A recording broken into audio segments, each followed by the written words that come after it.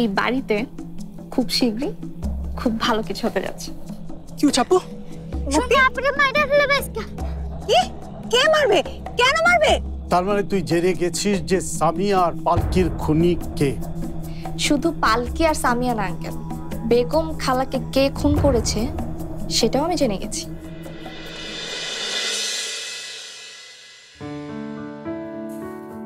মা খাবার দেওয়া হয়েছে খাবার জন্য।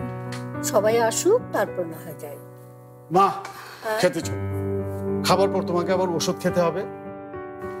বৌমা কোথায়? তুই একা কেন? সেটা তোমার বৌমাকে জিজ্ঞেস করো। উফ, কি যে হয়েছে কে জানে। তখন থেকে কেমন যেন করছে। করবে না? একটা মুহূর্তের জন্য। এই বাড়িতে কেউ কি ভাবিকে শান্তিতে থাকতে দেয়? ভাবির জায়গায় আমি হলে কবে এ বাড়ি ছেড়ে চলে যেতাম? আয়শা এসব কি কথা বলছিস তুই? কে অশান্তি করছে নাজিয়ার সাথে? সেটা নিজেকেই জিজ্ঞেস করেন না মা। ভাবি মা হয়েও সোহেলকে সেবা করতে পারছে না। নিজের ছেলের অসুস্থতার সময় আপনি যদি সেবা করতে না পারতেন তাহলে আপনার কেমন লাগতো মা?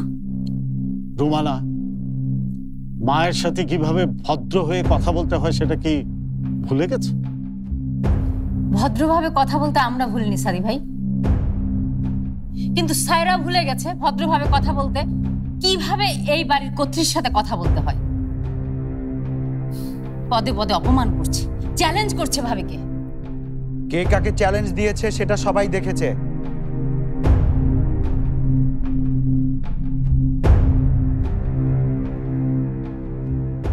সোহেল, তোর কথা শুনে আমার লজ্জায় মরে যেতে ইচ্ছে করছে। বাড়ির আপন কেউ হলে না হয় কথা ছিল। বাইরের একটা মেয়ের পক্ষ নিয়ে নিজের মায়ের বিরুদ্ধে কথা বলতে তোর লজ্জা করছে না? এসব কথা এখন বন্ধ কর আশা এতদিন পরে ছেলেটা আমার সাথে খেতে বসবে, তোরা এসব কি শুরু করবি? আমাকে কি খেতে দিবি? আর সায়রা সায়রা তো বলেছে সব কিছুর উত্তর আজকালের মধ্যে সে আমাদের সামনে এসে হাজির করবে। তারপর না হয় তোদের কিছু বলার থাকলে বলিস। আর আমারও তখন যা করা দরকার, ঠিক সেটাই আমি করব।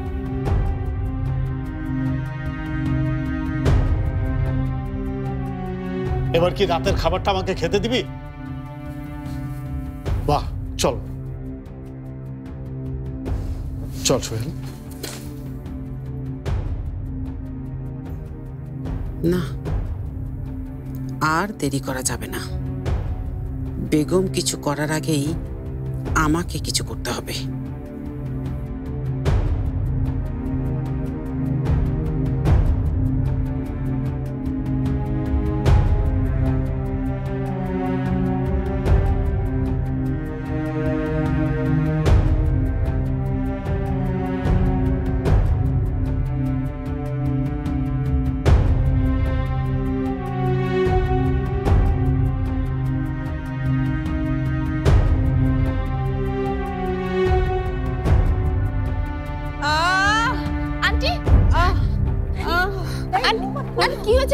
কি হলো? দেখি দেখি। রাজিয়া? দেখি।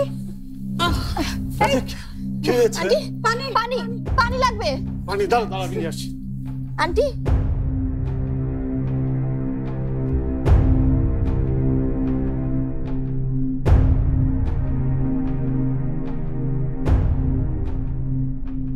কি ব্যাপার? কি হলো? এখানে থামলেন কেন?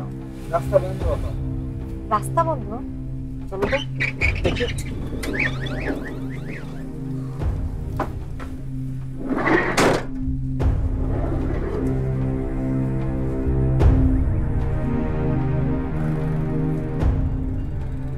যখনই গ্রাম থেকে ফিরি কোনো না কোনো সমস্যা হবেই।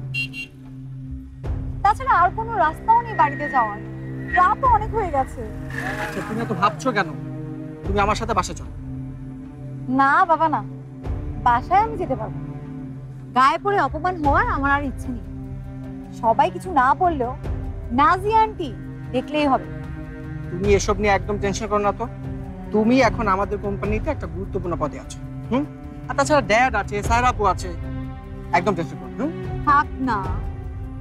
কিচ্ছু হবে না শরীর। আমি একা একা যেতে পারব। তুমি যাও। আচ্ছা ঠিক আছে। সাবধানে যেও। একলা নাকি সুন্দরী? সঙ্গী লাগবো? আমি আছি।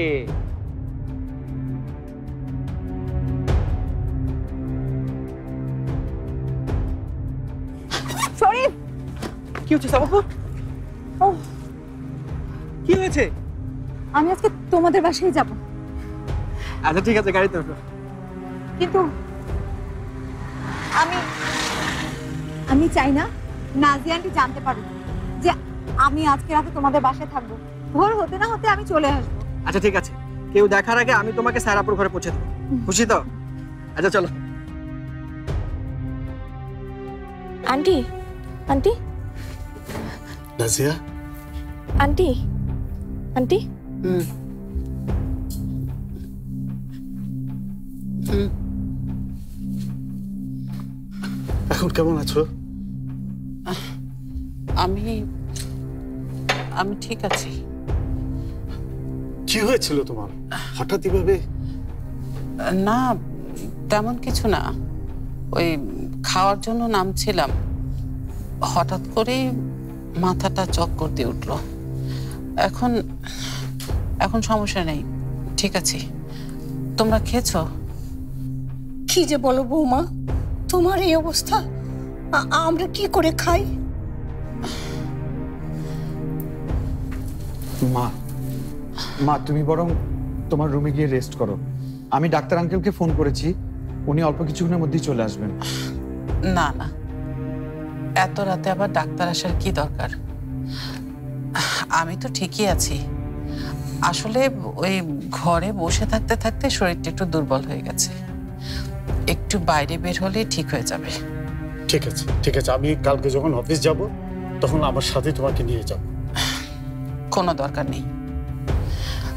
আমার যেখানে যাবার দরকার সেখানে আমি নিজেই যেতে পারব। আর তাছাড়া কাল এমনিতে আমার একটু বাইরে কাজ আছে। বাইরে কাজ? কি কাজ?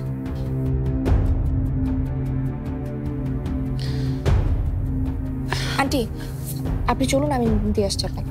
থাক। আমাকে ধরতে হবে না। যাও তোমরা খেয়ে নাও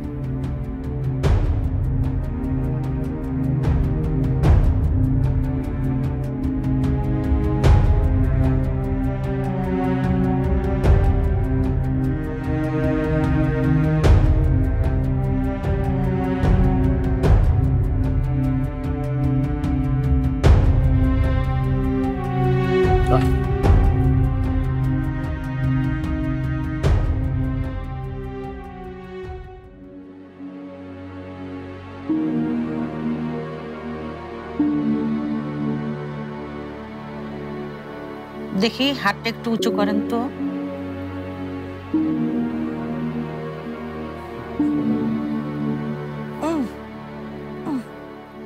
আচ্ছা আচ্ছা ঠিক আছে ঠিক আছে, আর করতে হবে না। যেটা আমি আশঙ্কা করেছিলাম, ঠিক সেটাই হয়েছে। সম্ভবত ভেতরে একটা ইনফেকশন হয়েছে। না না, ভয়ের কিছু নেই। ছোট্ট একটা অপারেশন করালেই ঠিক হয়ে যাবে। আমার জরুরি কাজ আছে। যত জরুরি কাজই থাকুক না কেন আপনার জীবনের চেয়ে তো জরুরি কিছু নয়। কাল একবার সকালে আমার ওখানে নিয়ে আসবেন। দেখি কালকে এই সার্জারিটা করে ফেলতে পারি কিনা। গ্রাম্য পদ্ধতিতে ওনার ক্ষতটা পরিষ্কার করা হয়েছে। তাই আমার সাজেশন আপনারা কোনো রিস্ক নেবেন না। এবার আমি আসি। ধন্যবাদ। আসি।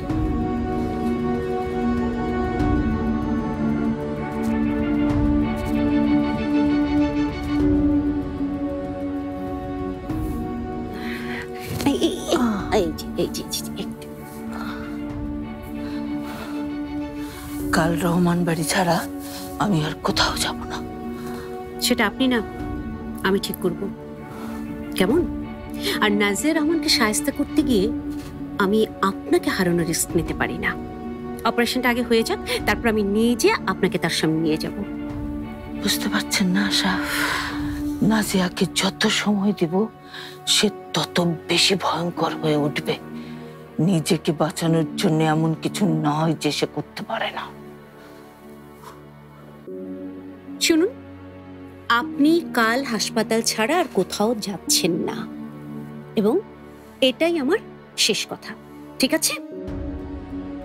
রেস্ট নিন আমি আসছি।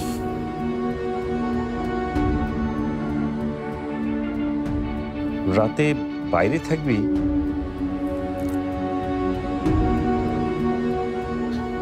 কিন্তু কোথায় থাকবি তুই? হ্যাঁ আপু। ওই যে আমার বান্ধবী আছে না সুমি অনেকদিন পর ওর সাথে দেখা। খুব জোর করছে থাকার জন্য। ভাবলাম আজকের রাতটা ওর সাথে গল্প করে কাটাই। ঠিক আছে। কিন্তু সাবধানে থাকিস মা।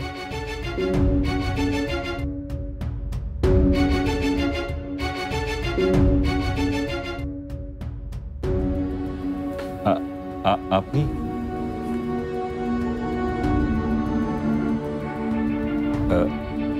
আপনি এখনও ঘুমাননি?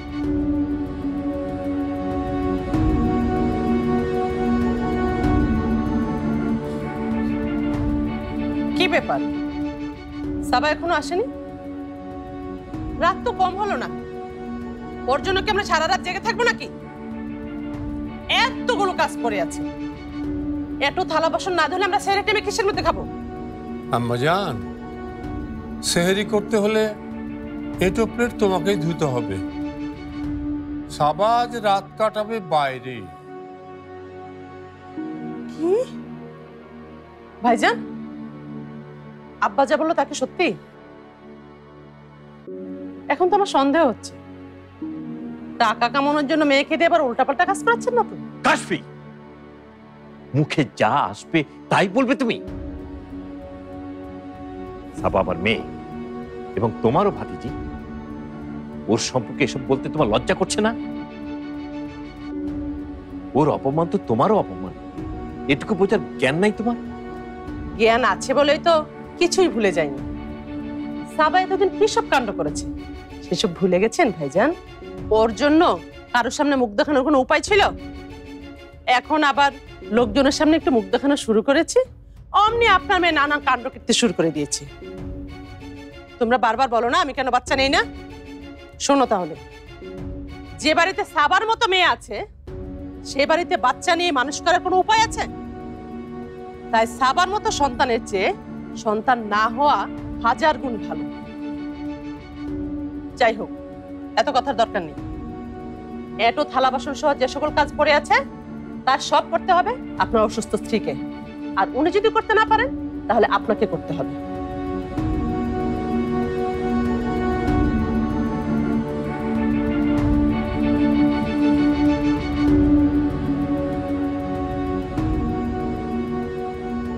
আহারে, একটা মেয়ের জন্য বাবা মাকে কত অপমান, কত কষ্ট সহ্য করতে হচ্ছে।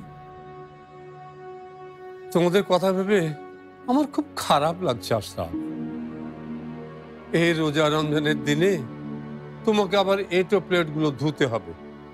কাজটা যখন করতেই হবে, তখন আর দেরি করছ কেন? যাও, কাজে লেগে পড়ো। সেহেরিতে আবার উঠতে হবে তো।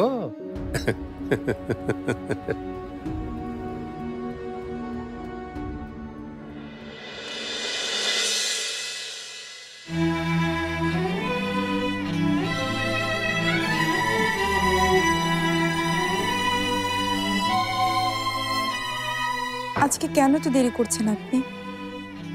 আপনি জানেন না? আপনি না খেলে যে আমি খেতে পারি না?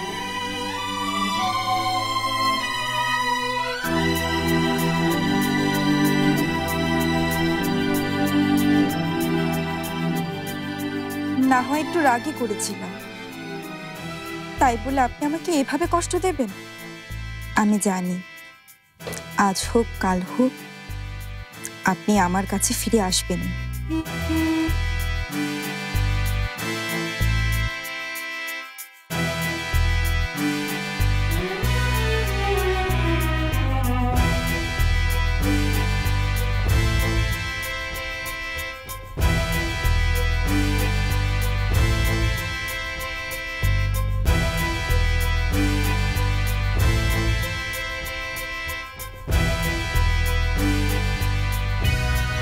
এইটা ভাইয়া রুম এইটা সাইরা বা যেতে পারবে না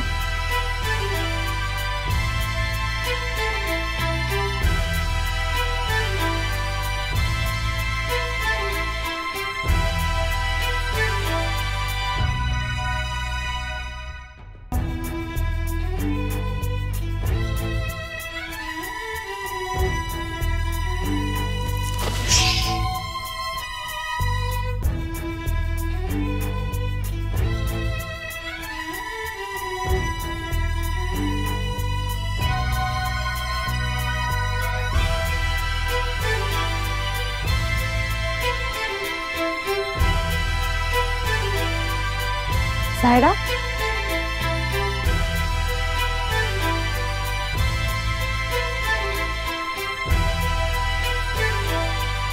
সায়রা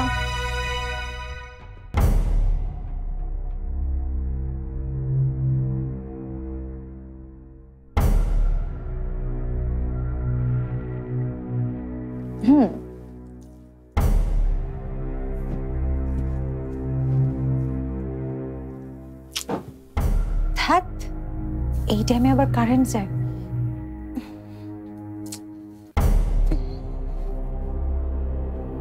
আমার চোখে ফাঁকি দিতে পারেন, কিন্তু মনকে দিতে পারেন না।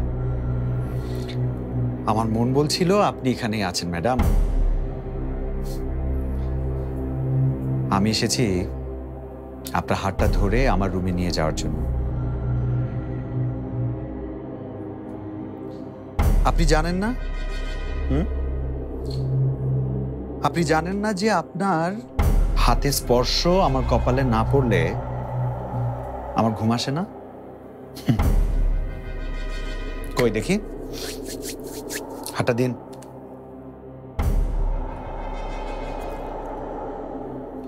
আমার হাতটা কিন্তু বাড়িয়ে রেখেছি।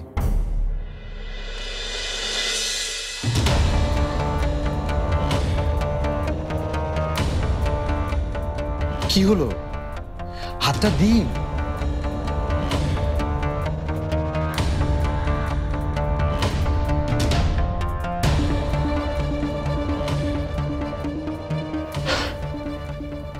এই যে, আপনার হাতে স্পর্শ পেয়ে আমার মনটা কেমন শীতল হয়ে গেল। আচ্ছা ভাব তো একবার করেছি। এখন এত অভিমান কেন ম্যাডাম? এবার একটু ফিরে তাকান?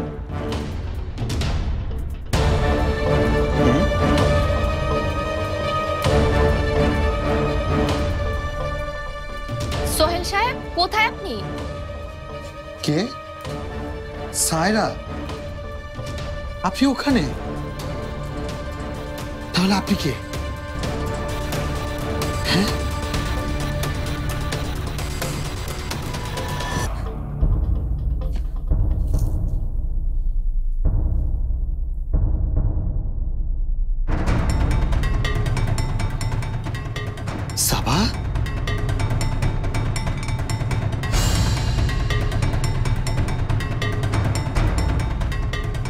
এখানে কি করছ?